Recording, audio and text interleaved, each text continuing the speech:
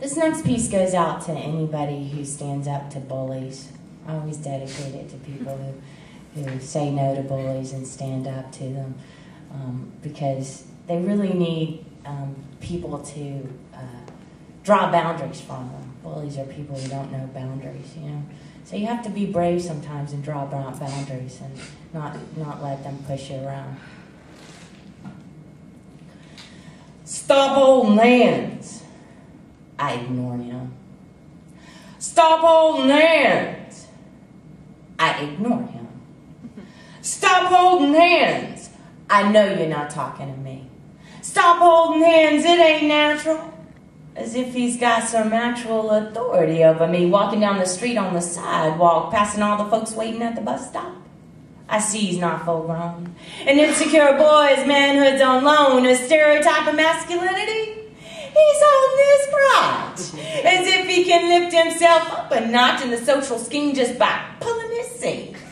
So, I keep walking, but it just keeps talking, and I spin again when he starts preaching on sin. What's it to you? I hold hands with my boo, my lover, my friend, my sister, comrade in arms. Together we survive life's lifetimes. What's it to you? I hold her hand. He stands, steps towards me, puffs up his chest, and under his breath, he exhales a grunt. Cunt. And I lose it. I mean, I lose it because I'm on the brink and rage takes over before I can think. Oh, hell no, motherfucker! Shut the fuck up! It ain't none of yours. Mind your fucking business, motherfucker! and he ain't got nothing to say. Because all the folks around him are moving away. Ain't nobody on his side.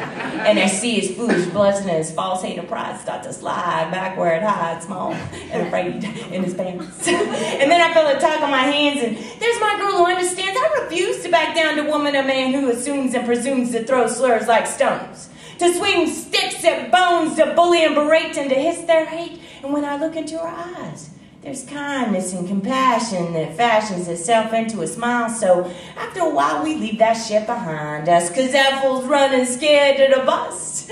But before he can get away, my girl's just got to say, baby, you can get LPOC up in here.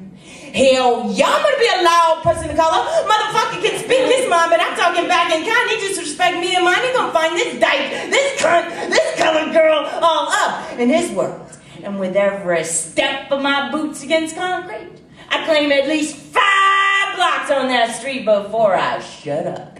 Let it go.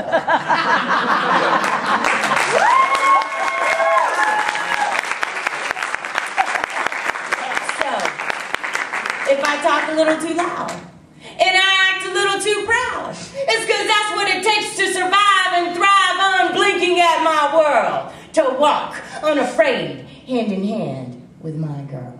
Thank you. War. War. War.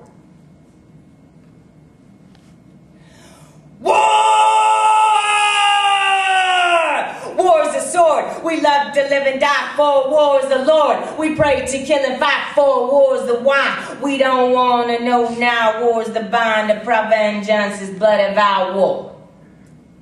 Want me some more? Gotta have me some more. Come on, let's war.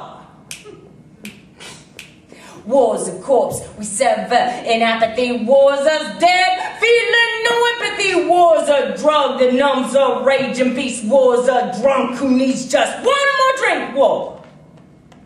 Want me some more? Come on, let's war. Let's war some more.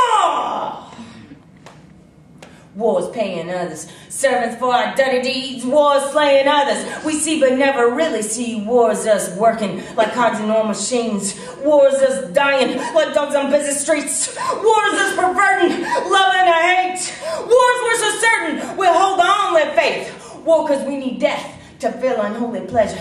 War you know you love it, cut the trigger, shoot your terror. War! Is the historical culmination of a profound lack of imagination or, more often, a refusal to demand any other options because we are too busy breaking our backs to feed our bellies and our children?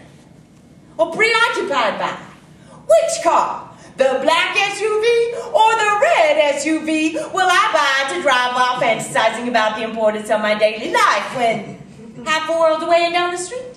Infants die from man-made famines and a lack of medical supplies made purposefully scarce.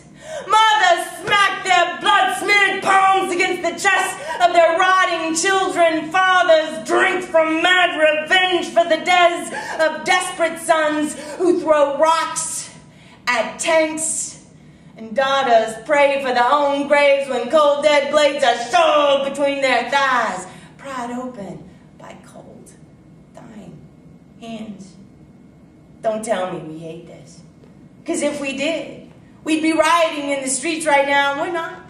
There'd be no war right now. And there is.